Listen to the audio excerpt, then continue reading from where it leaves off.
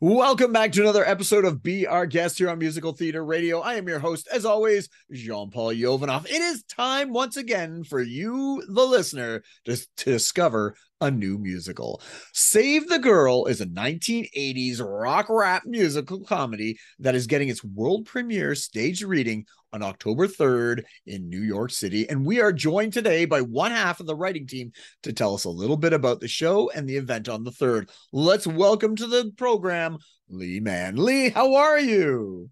I'm good. How are you, Jean Paul? I'm good. That's fantastic. First of all, before we get into anything, congratulations on getting the reading up, and we'll talk more about that. But thank you. Awesome. We're very excited. Very excited.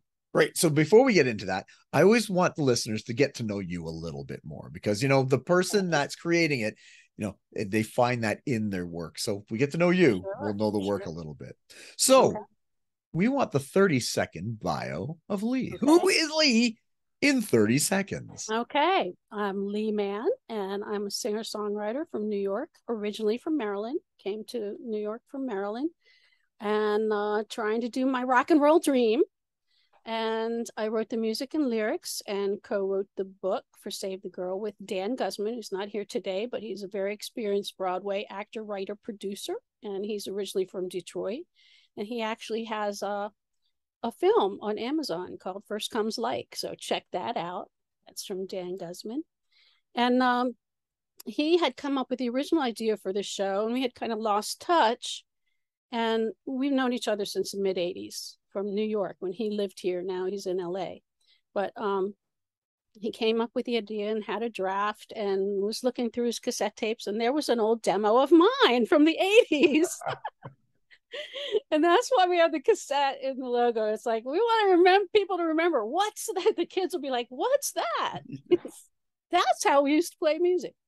And uh, he remembered how much he liked that music and thought that it might fit with his concept. So he got in touch with me on MySpace, and we were probably the last two people on MySpace. I still have my account somewhere. I know so, that yeah and uh and because we had lost each other's phone numbers so i think i got married and you know when you get married you move somewhere and you take your husband's name and then nobody can find you so that's where the internet is great for that and uh so i looked at it and said yeah this looks like fun and so we started kicking stuff around and before you know it um we have a show you know a few years could take a few years but um we kicked it back and forth and i i actually didn't know at that time i was not very hip to all the uh, computer stuff you can do for me with music mm. so i but i recognized right away i'm going to need some real specific songs you know we can use some of the more general songs for certain things if i adapt the lyrics to a, a character or to a situation mm. um, but I'm going to need some new things. And so I learned Garage Band. Hey, all you Garage Band people. and I started writing new stuff. And, uh, you know, at the time, I had really never uh, previously thought about writing for musical theater. I was mainly trying to do, um, you know, trying, this is like 30 years ago now, trying to do um, my gigs at CBGB's and the mm-hmm. bitter end and with my spandex and my big hair and my young self and uh, loud guitars and all that stuff. So some of that you will hear it in the music. Um, but there are actually a lot of new new songs that are still in the 80s style because we wanted to keep it cohesive mm-hmm. um, but definitely have more of the uh, musical theater vibe of more story, more specific story in them. Right. So um, that's something that I learned along the way that, you know, as people do when you're learning how to write a musical. And I learned from Dan and other people and different writer groups, Zoom writer groups, you know, and round tables and you go and you talk to people and you say what do you think of this? Well it needs a little more story you know oh, okay. Well, so, uh, well i was going to say speaking of story tell us the synopsis of the show. Okay well it's an 80s rock rap wacky musical comedy with kind of a feel of grease in the 80s with a touch of kinky boots and the producers on the side. So you know that kind of fun spirit Um, there's romance, a pair of feuding brothers, some quirky friends we can all relate to, and a rapping biker gang with ambitions of their own. So, um, our main character is a newly famous rock diva, Annie Angel, who returns to her hometown for a concert. And after some introductory scenes that show the town and connect the relationships and motivations of the friends and our star, we join Annie's concert at the Encore for her hit song Summer Love, which is one of the songs that you will hear um, later. And toward the end of the song, Annie disappears, resulting in her friends misjudging the event and thinking that they need to form a rescue party to save the girl. So um, the cast of the Old Town characters includes Annie's best friend Katie, her brother Will, Katie's brother Will, who was actually Annie's ex-boyfriend, uh, a new girl in town who has a sparkle in her eye for Katie, and we get to know and Smokey, the wisecracking bartender, because you got to have a wisecracking bartender. in every town, you got the diner and the bartender. And Katie's the diner, mm-hmm. Smokey's the bartender, and those are two of the main places where things happen. And uh, we get to know them all through the story, their motivations, their character, and their dreams. Their, and um, after the concert is interrupted at the encore, we, the audience, sees that Annie's been escorted via a motorcycle to the Beats Gang's hangout by their charismatic leader, Diesel. And Annie thinks she's gone to the official after party because there's always an after party, right? So uh, she thinks that Diesel is her surprise biker escort because her manager, Dicky, previously said, I'm going to have a surprise for you later. And he knows she loves motorcycles. So when a motorcycle guy says, at your service, she's like, yeah, okay. you know, let's go to the after party.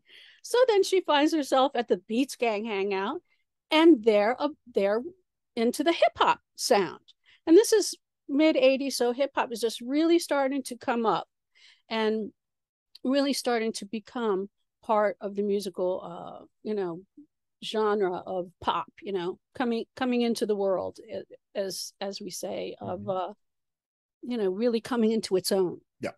And so diesel does this whole prank really because he wants to get annie to listen to his songs and so he's like, Hey, you want to hear some of our beats? That's how we named the, the, the bar. And that's how we named the gang because we're big into beats, you know, drum and bass and beats and all that. And she's like, Yeah, okay, fine. So then we hear the beats, which is uh sort of there. We are the Jets, but it's not the Jets, it's the beats. and they rap, they don't sing, but there's a little singing in the in the song too. So uh, that's the introduction to the gang and to Diesel, who's their leader and the main um, I guess, antagonist because he's the one who pulled the prank. Mm-hmm. And later we'll find out, you know, why he felt pushed to do this. And actually, you do see a little bit of hint of that at the beginning. So you get an idea of what he's going to do. So then she's like having fun, learning new dance moves. And uh, he's like, hey, you want to jam with us? She's like, great. So the beats is kind of very guy centric. And then Annie sings Barbie Doll, which is the girl answer. Don't treat me like no Barbie doll. Mm-hmm. Don't do me like Barbie. Don't treat me like Barbie doll. And uh, there's a little rap section in that one too. And it's very funky. And, you know, part of my sub story is the influence that hip hop had on rock and pop as well. So at the beginning, the songs are pretty much boom, boom, boom, boom.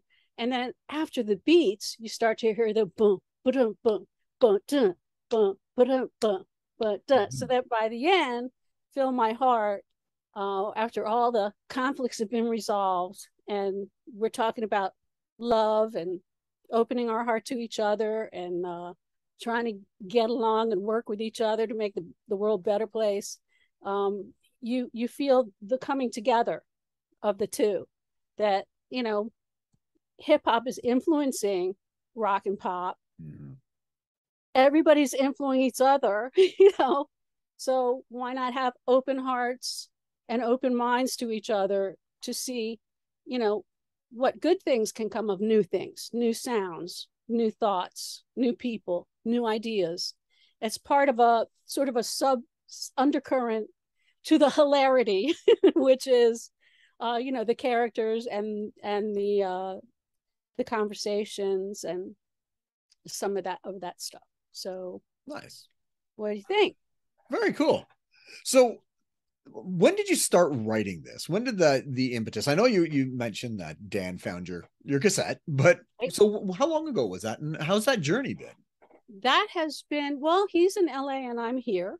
So it's been a little slower i think because we're not in the same place. Yep. Um i'm say i would say around 2010 is when we started getting a little bit more serious about it.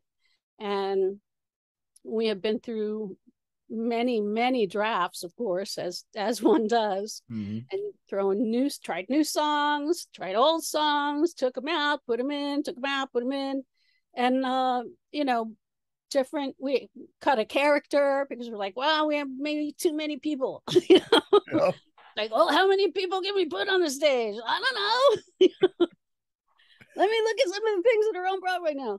Um and you know everything's from it could be four people it could be 24 people you just don't know. So um, you know we went through different uh, iterations where we decided to condense a few people take out one or two. Um, some of the characters uh, gradually got more depth to them mm-hmm. as people. Um, we could see that they had other skills and things about them that maybe were surprising. You know, it was like, hey, what if she could do this? Or what if he could do that? You know, and so it it just like really grew as it went. And then of course you get to a point where like, wow, this is like four hours long. Are we going for like a Wagnerian ring cycle? Yeah. you know? Maybe we need to like focus it a little, go, chop a few things out so that you know that that's kind of how it went. I think it grew and then we started like condensing and focusing a little bit more. And a few years back we had entered it into the new york musical theater festival mm-hmm. which you know it's a few years back because that's been gone for a couple years so you know. Yeah. And um and it was slightly earlier iteration but main the main characters the main stuff was there. And they usually would do 10 shows and they let us know. They said, Well, we have an 11th spot if you want it, hmm. but we're just going to give you the theater. We won't give you anything else, no other help. And we're like, Well, uh, you know, maybe, maybe we need a little more help, help than that or a little more time to put together some kind of a strategy of dealing with it because we weren't just quite we just weren't ready but that gave us, I think that gave us a little bit more of a push that, hey, you know, they think you could be the 11th one, you know, out of hundreds, probably, mm-hmm. or thousands of entries. You know, maybe we should get a little bit more serious and push it a little bit more. And, um, and then I, I was having problems with like the new songs were easy because I created them on the computer, you know, with loops or beats or um, you know little MIDI stuff that I would do with the little keyboard. Yeah. Um, but we had the issue of some of the older songs that all I had was old demos. And I was trying to like take my vocal off and, you know, do all sorts of little techie things. And then the pandemic hit. And my husband, uh, Pete Sawchuk, is excellent guitar player, musician, MIDI. He can play anything. And singer as well. And uh, so we're sitting here going, um, all right, no gigs. Let's redo the old songs. So we spent most of the pandemic putting new tracks for the old songs, which is great because now they're really clean and you can change the key for different singers, which I already did one. so I I know it works. I'm like, yeah, you know. And um, that was what we ended up doing for our pandemic time or you know it was a way to make something positive out of really frightening time for everybody. It's like hey let's focus on this. And we have like you know eight songs or something to do and let's get those done.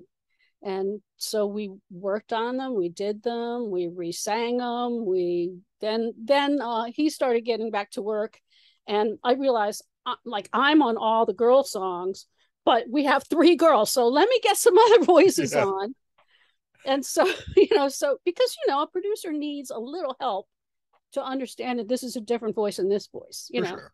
we don't want all of them as i remember lin manuel miranda saying yeah when he first did his demos for for hamilton or or in the heights they were all him and he's like okay let me get him somebody else on these and it really does help you to sort of hear the characters a little bit more so then uh, I I got some other voices, and then when I felt like I was finished, was like the the end of uh, maybe the middle of last year, like June-ish, twenty one.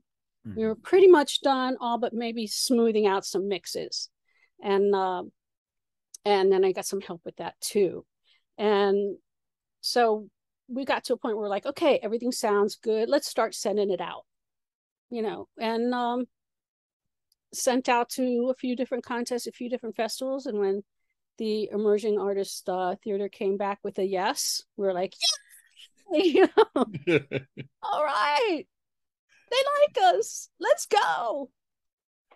And you know, then that's that's another shock. It's like, oh, ah, now we got to do it, you know. so it's it, you know, it's exciting, it's exhilarating, and a little terrifying as well, because you know, we don't know how it's going to go. But Well, tell us a little bit about the the the production that's going to go on in the third. You know, who's who's in it, some of the names, and and that sort of thing. okay, um, well, let me get my notes up on that so I don't mess up anybody's name. Yeah, you don't want to do that, especially the people singing your stuff. You don't, don't want to do that. Don't want to do that. Oh, I have too many notes open on my desktop right now. I've been there, Okay, done Here we that. go. Here we go. All right. We have uh, Annie Angel is going to be played by Bly Voth. And then we have Smokey, the bartender, is going to be Johnny Hawkins. And our Mr. B, who's the retired professor and the um, person who knows all knowledge. He's the knower of all knowledge. He's the trivia expert who pipes up with little tidbits of uh, interesting historical facts at the most interesting times. And that is played by J.C. Montgomery, who also is the Sultan in Aladdin. Oh, So we're super happy to have him on board. And also, his son is playing Tank, Diesel's sidekick in the gang, and Boombox, the town uh, dancer and music man who carries around his boombox. Now, we're not going to actually have the boombox there, but we we have a narrator telling you what's going on because it's a stage reading. Yes. we don't really it's only one shot. We didn't really uh, have the capability to do all the um, blocking and staging and all that. So it's the first step in hopefully many steps into something else. And then uh, for katie we have um, so tank is marcus montgomery. Katie is ali ray uh, diesel is tim ware hill and anita sanchez is sedona valdez. The narrator, Ann Sanford, doubling up is Erica Eric Leviton, and Will Carter, the the boyfriend and Katie's brother, is Zach Herman, and uh, An- Angie and Alice, she's playing two roles, and uh, the Andy understudy is Maggie Durego.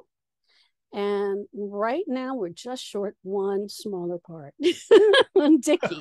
so we don't have him today, but probably have him by next week because we have a couple people we're talking to. So uh, I think that's everybody. Captain Winston, Eugene Berryhill. And uh, I think I said everybody now. Right. And so that's our cast. And several have done uh, big national tours and Broadway shows. And of course, JC's right on Broadway now. And everybody go see him in Aladdin because he's awesome. we are super happy to have him uh, working with us for the third. And um, the the voices excellent. Um, of course, we've already rehearsed, and you know it's coming along great, and very happy and very excited about it. And uh, I think it's it's a little something new because there aren't that many '80s shows. Whenever you say '80s, people say like Rock of Ages, Mhm. and I'm like, yes, Rock of Ages was great, but this is all original music. some of it written in the 80s in the 80s style and, different original um, stories so i think there's plenty of room for more stories from the 80s don't you think for sure for sure so tell us a little bit about the, the who what where why and about the event so how, how do people find out more about it okay you can go to um, emergingartiststheater.org i believe it is and let me get that thing up here. And it is what 15 West 28th Street in Manhattan. It is uh second floor and there's uh, elevators to get up up there. It is a 95 seat theater called the Tada Theater. And the Emerging Artists Group um, rents it from Tada. So for a month, it'll be all these new um, new things every night new things some nights it'll be uh four or five 10 minute shows 10 minute plays mm-hmm. some nights it might be a, a dance thing for an hour and then a one act um, every night's going to be different and i think that's very exciting don't you sure. that just see that there's like as a matter of fact last year was three weeks and this year i guess because a lot of people were riding over the pandemic we weren't the only ones um, they they expanded it to a month wow. so it's a whole month from uh, this coming week to um, the end of october and every night you, you can see something at that theater. So go to the emerging artists theater.org online. And um, also you can go to brownpapertickets.com mm-hmm. backslash event backslash 554 4630 and that's that will get you tickets to save the girl for five dollars off from if you buy them at the door so you could actually save five bucks by going to the brown paper tickets look for save the girl or event 554 4630 and save yourself five bucks and come out and see something brand new that would be fantastic and we'll put that on our our social media to make sure people get that in case they didn't write it all down what you were yeah. saying so uh, yeah. we'll take care of that for you we'll we'll put that cool. up but uh, cool. Li congratulations on, on getting the show so up and um, for the performances on the october 3rd that's fantastic. We're so excited. Awesome. thank you for having us. Thank you. No problem. We were just speaking with Li Mann, one half of the team who wrote Save the Girl, a 1980s rap rock musical comedy that will get its world premiere stage reading on October 3rd of 2022. Tune in next week as we'll be speaking with another guest or guests about their life, love, and passion that is musical theater. I am your host as always, Jean-Paul Jovanov, and until next time, I'll see you when I see you.